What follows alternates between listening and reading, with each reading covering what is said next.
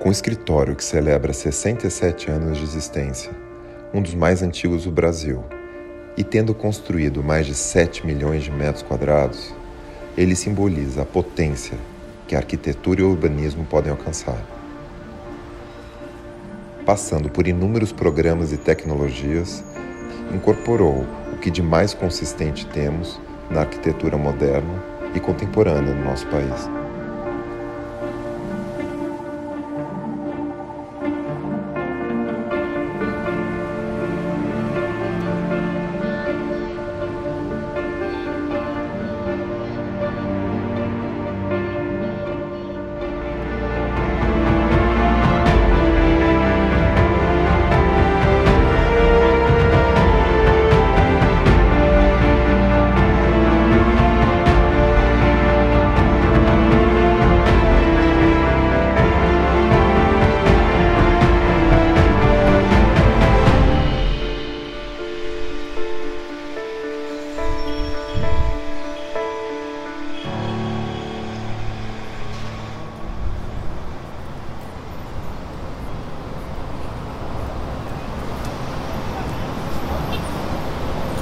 O Faria Lima fez esta proposta de, de esse túnel até aqui, uh, emergindo ali, para fazer a união, esta ligação à esquerda. Diminuiu este nó viário que existia aqui da Consolação Paulista. Mas, por outro lado, ele interrompeu a Avenida Paulista ali, que até, até o Pokémon, e criou esse pedaço aqui, que é um pedaço dissonante. Mas tudo bem. Agora, o dia que pensarem em fazer disso até o fim, eu digo não, pelo amor de Deus. Destruir um pedacinho, tudo bem, para atender uma solução viária. Mas destruir uma avenida desta qualidade, desse nível, de maneira nenhuma.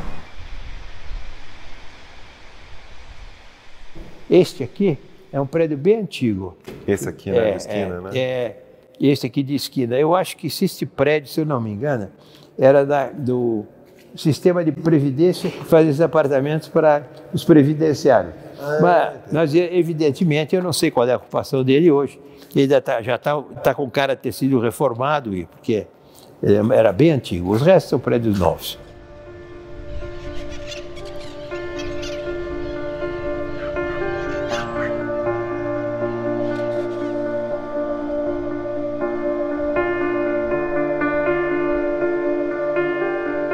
Este prédio, de uma certa forma, marca.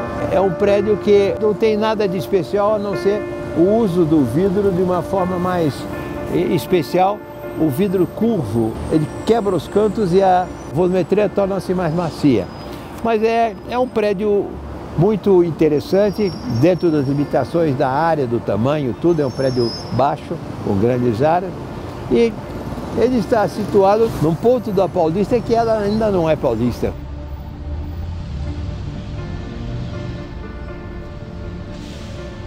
Bem. Isso é, é, um, é um vidro. É um vidro fosco que nós foi feito para esconder a parte de ventilação do metrô. Nós estamos em cima de uma galeria do metrô. Ah então, ah, então tá. Isso aqui é uma estrutura do metrô? É uma estrutura do metrô. Nós temos cinco pavimentos de garagem. É, e esse, essa galeria está abaixo desses cinco pavimentos. Então é preciso ter uma ventilação. E essa ventilação vem daqui. São ventiladores que jogam o ar para baixo. E é exatamente na confluência da entrada do prédio. Porque a entrada do principal do prédio, por uma questão até comercial, tem que ser a Avenida Paulista e não na Rua Consolação. Então, para ser na Avenida Paulista, está aqui o eixo possível, porque para lá é a ventilação do metrô oculta.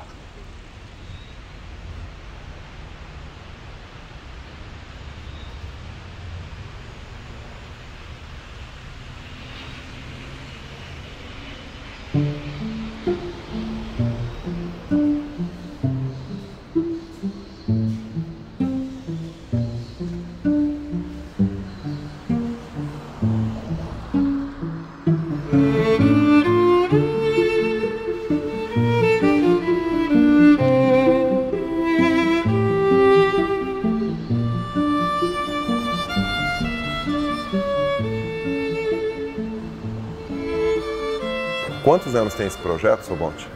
Cerca de 60 anos. Algum tempo já, né? É. Já era um projeto moderno na época. Atendia as condições e, e, propostas da arquitetura moderna e, de uma certa forma, a tecnologia que existia na época.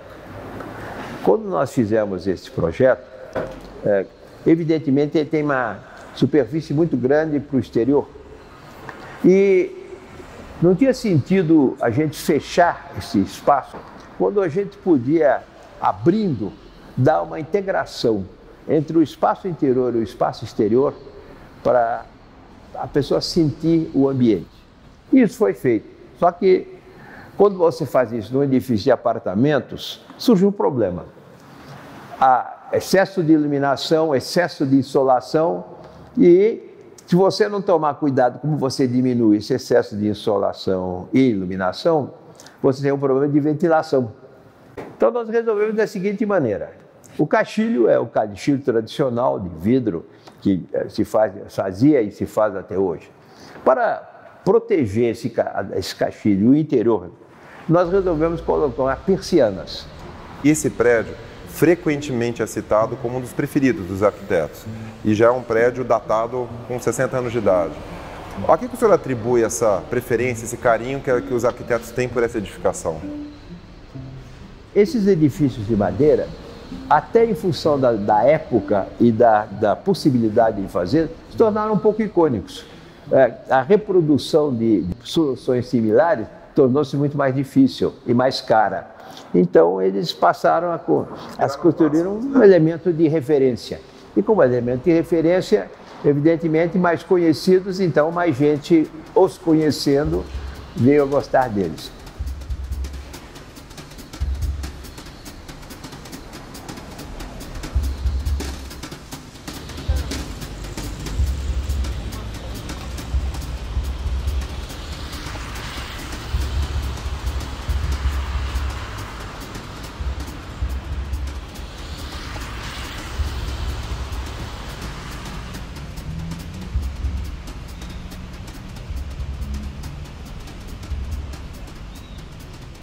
São 40 metros de vão, que é proporcional à proteção à casa bandeirista, que, é, que você está vendo ao fundo, que é um elemento tombado. Embora ele seja totalmente reconstruído, nem por isso ele deixa de ser tombado. Não me pergunte por quê, porque foge ao meu conhecimento também. Mas é, uma vez, quando o senhor veio no terreno, o senhor falou que não tinha nada aqui, né? Não, tinha só a fundação. No fundo, no fundo, esse é o conceito de arquitetura dão você uma meia dúzia de limões, tem que fazer uma limonada. Não tem boa, jeito né? nenhum. Ele tem que ficar boa. E você joga não com os elementos favoráveis, joga com os elementos impeditivos. Claro. A lei, a vontade. E tudo somado tem que dar um bom resultado, que é o caso daqui.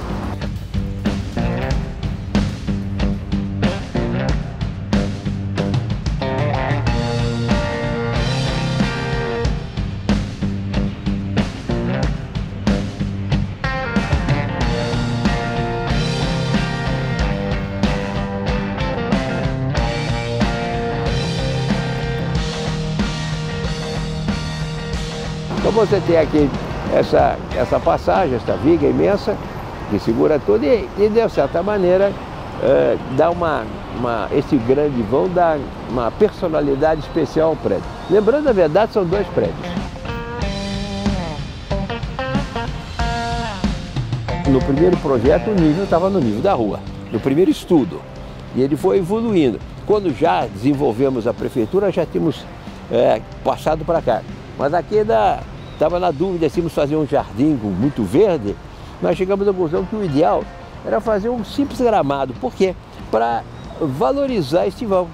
Quem está aqui, por exemplo, não deixar de ver a rua. Se tivesse uma árvore aqui onde nós estamos, ele não veria essa rua. Então isso foi resolvido e foi desenvolvido. E posteriormente criou um subproduto de uso. Interessante é que o pessoal sai para almoçar, senta aqui nessa grama. Então a gramada aqui, inicialmente era uma floresta e virou um gramado, tornou-se um gramado de utilitário no sentido de que ele passou a ser utilizado pelo usuário. Isso é importante. Essa defesa que o senhor faz da arquitetura brasileira, junto às BEA ou até como discurso próprio, ela não é só uma questão mercadológica, ela tem muito a ver também com o resgate cultural nosso. É principalmente o resgate cultural. A arquitetura não representa apenas um, um, um, um estado físico, representa o estado de espírito de um povo. A arquitetura moderna brasileira é a visão atual de como toda a população reagiu, São Paulo principalmente, ao desenvolvimento urbano, ao desenvolvimento em geral. O crescimento do Brasil e da cidade de São Paulo tem um espírito, e esse espírito eh, se procura enquadrar dentro da nossa arquitetura. As BEA é fundamentalmente, é, através dos escritórios de arquitetura, que são escritórios, não são pessoas físicas, sempre lembrar isso. Eles defendem uma, um, um princípio de arquitetura que eles realizam, que eles executam. E esse princípio de arquitetura, que é, é, é coletivo, mas ao mesmo tempo é individual por grupos, ele é, é muito importante, porque ele representa o, a visão de, desses grupos de arquitetos do que deve ser o desenvolvimento urbano na cidade de São Paulo, para dar um exemplo da cidade de São Paulo. Embora, claro, que isso vale para o Brasil inteiro.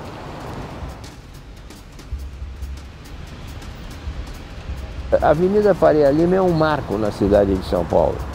O conceito dela transcende o conceito urbano. Ela é um marco, inclusive, político. É, e isso é muito importante. Ela é hoje uma das vias mais importantes do ponto de vista é, comercial em São Paulo. E dentro da via tem um ponto de referência, assim, o nosso, esse, esse edifício. É um ponto de referência, inegavelmente. Então, a arquitetura, quando ela atende todos os seus objetivos, ela passa a ser um elemento marcante da paisagem. E esse é um elemento marcante da paisagem aqui na Faria Lima, sem dúvida nenhuma, esse prédio.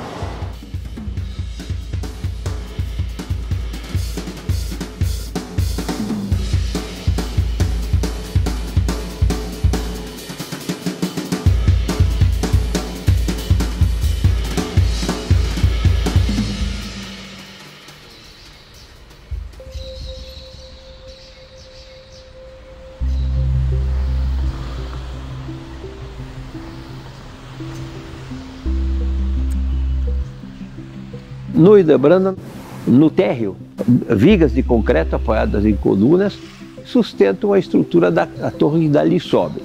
Essas vigas de concreto, elas foram tratadas pela arquitetura esculturalmente. Essa estrutura que a gente vê claramente exposta é quase um exoesqueleto aquilo lá, né? Isso. Que a gente vê exposta no térreo é uma parte estrutural do edifício que vocês tiraram partido arquitetônico. Exatamente, exatamente.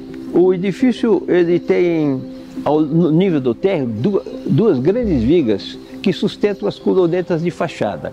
E essas vigas tinham um dimensionamento grande, evidentemente, para atender a carga, e nós simplesmente montamos essa estrutura. Trabalhamos esta volumetria para ter uma volumetria que representasse um elemento extremamente positivo dentro do contexto arquitetônico final.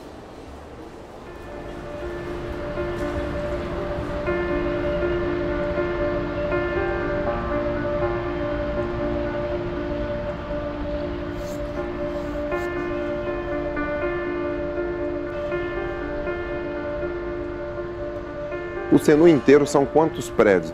São três prédios.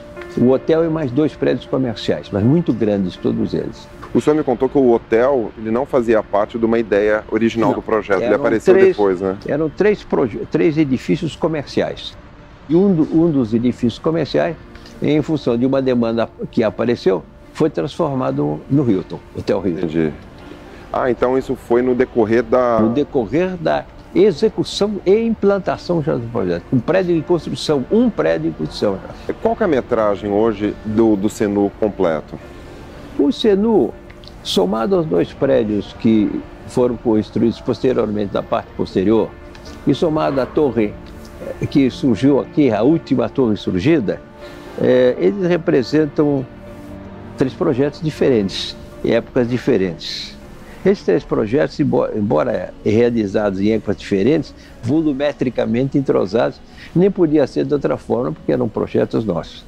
Mas o total deles, eles chegam a cerca de 450 mil metros quadrados. Nossa Nesses anos todos da Bote Rubim, hoje, o senhor tem uma ideia do volume de projetos que vocês já construíram, assim, mais ou menos? Nós fizemos um levantamento chegamos à conclusão de projetos construídos, porque houve muitos projetos não construídos, nós atingimos um valor acima de 7 milhões de metros quadrados, 7 milhões e 200, 7 milhões e 300 metros quadrados. A arquitetura, para mim, é um trabalho de equipe. o resultado final é um. Ou é bom ou é ruim. Não tem meio termo. É, né? não tem meio termo. E isso, todo mundo contribui para esse resultado. Se alguém erra, o resultado é ruim. É, dá um orgulho de ter ajudado a, a desenhar a cidade de São Paulo? Evidentemente. É, a gente- a- cada edifício que nós temos é um marco. Para mim, principalmente. Alguns são marco para a cidade, mas todos são marco para mim. E é, quanto ao ego, é, eu devo dizer a você o seguinte: é natural o ego do arquiteto, mas também é natural que ele saiba enxergar o ego dos próximos, dos outros, principalmente dos outros arquitetos. Eu nunca trabalhei sozinho. Eu trabalhei no começo com o Mark, só dois, depois chegamos a ter 30 arquitetos. E sempre tive um profundo respeito pelo pro- profissionalismo desses colegas que trabalhavam comigo. No sentido de que, se eles não criticavam, eu pedia crítica, porque é importante. Você não pode fazer autocrítica à arquitetura, alguém precisa fazer. Se você achar que é importante, você defende seu ponto de vista. Mas mesmo defendendo seu ponto de vista, sobra alguma coisa que vai pensar de noite. E é isto que faz uma boa arquitetura.